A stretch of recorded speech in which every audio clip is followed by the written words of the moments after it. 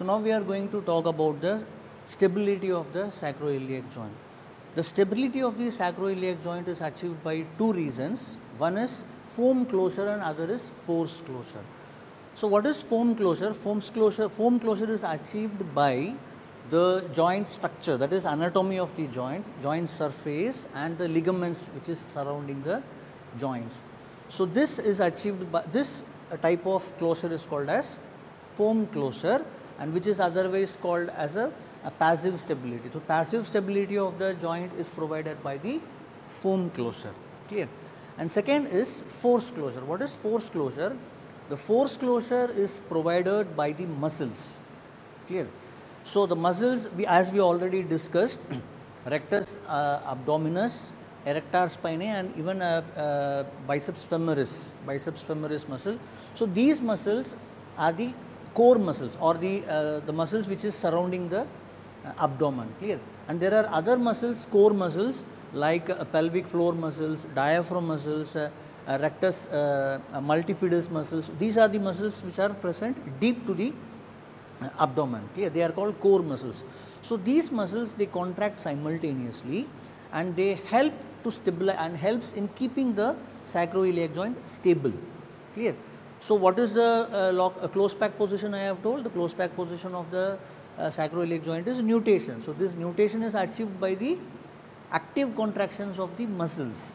So, the muscles they contract and they lock the joint and they stabilize the joint right? During activities. Activities like uh, uh, sitting or uh, lifting the weight heavy weight and running clear. So during these movement what happens the active muscle contraction is required and it helps to keeps the joint locked and keep the joint stable. So this stability is called as a force closure. Clear? The muscles are actively contracting and they are closing the joint. So, the joint sacroiliac joint is stabilized. One is by the ligaments and joint itself surface itself which is called form closure stability is provided by form closure and second is it is provided by the contraction of the muscle that is force closure right. Suppose if there is a patient if the patient is having any uh, sacroiliac joint dysfunction clear either it may be so you should know how to uh, diagnose whether the, the instability is because of form closure, form closure dysfunction or the uh, uh, problem is due to force closure dysfunction. Suppose if the pelvic is not stable, there are two reasons clear. One is either it may be a because of the form closure dysfunction or it may be due to force closure dysfunction. So, in order to treat the patient first you should identify what is the problem the pelvic instability, what is the cause of the pelvic instability? The pelvic instability is because of form closure dysfunction or it, it is because of force closure dysfunction. So, now if you can, how you will identify the pelvic instability is because of form closure uh, dysfunction or force closure dysfunction. So, I will ask the patient to lift the right leg SLR so, now you can see the pelvis is stable. So, there is no uh, torsion in the right or left side of the pelvis. So, put, put it down. So, now I am asking the patient to lift the left leg. So, now if you see the right side pelvis is going up, the right ASIS is slightly rotating towards left. Yes. So, this shows that there is a pelvic instability on the left side. So, now I will ask the patient to lift the left SLR and I will give the resistance. I will ask the patient to flex and rotate the tongue towards this side and I will give resistance. Yes, again do it, again do it, lift it. So, if you see now the pelvis is stable. So, now what I am going to do is I am going to stabilize the pelvis and I am asking I am going to ask the patient to lift the left leg again. Yes. So, in this situation if you see even after the stabilization the pelvis is not stable even after giving passive stabilization the, step, the, step, the pelvis is not stable and it is rotating to the opposite side while the patient is lifting SLR. So, this confirms the patient is not having form closure uh, disability or the form closure dysfunction and he is having the force closure dysfunction. So, how this force closure actually works? See, you know the latissimus dorsi muscle is in this direction, it is running in this direction and the gluteus muscle, gluteus maximus muscle is running in this direction. When the patient is doing SLR, what is happening? The gluteus maximus muscle is contracting and when the patient is doing the, when the patient is doing extension, clear? So, what happens? The latissimus dorsi muscle and the gluteus muscle they contract and you know the latissimus dorsi and gluteus muscle it is having an attachment with the thoracolumbar fascia.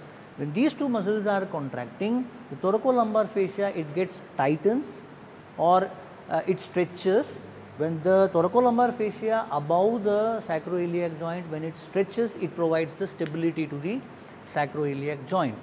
So, when the muscle is contracting, it is called as a force closure, clear. The, the force closure is provided by the muscles, the form closure is provided by the ligaments and the joint surfaces. So, when the muscle is contracting, the thoracolumbar fascia is stretching and provides the active stability to the sacroiliac joint and it prevents the dysfunction of the sacroiliac joint. The same form closure and force closure test can be performed in prone laying also. So, in this position first I will ask the patient to lift the right leg. Yes, down, again, again. So, if you see the pelvis is stable in this position. Uh, now, you lift other leg that is left leg. So, now if you see the pelvis is rotating, right.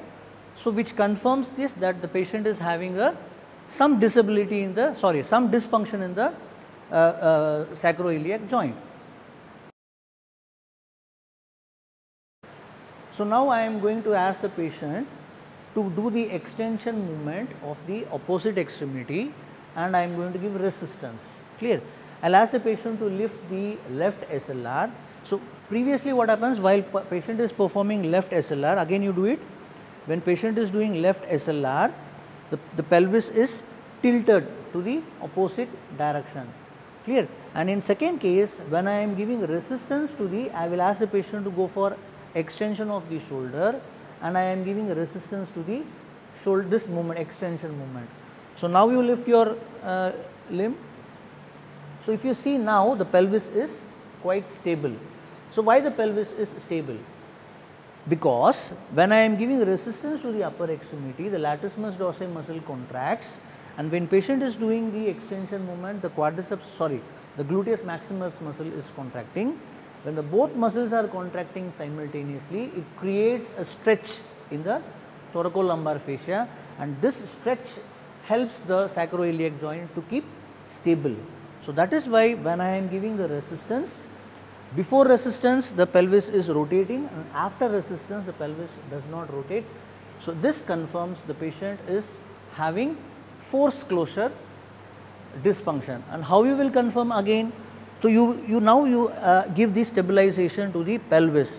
So, in this situation when you give when you give passive stability to stabilization to the pelvis and when you ask the patient to go for SLR still the patient will have dysfunction that is the patient will have rotation of the pelvis.